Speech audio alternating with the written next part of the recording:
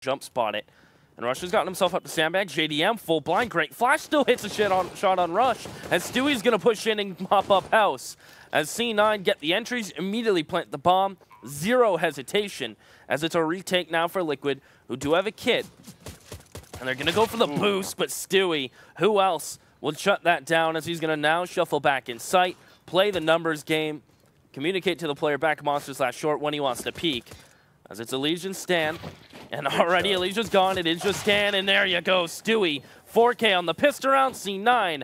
A great start here on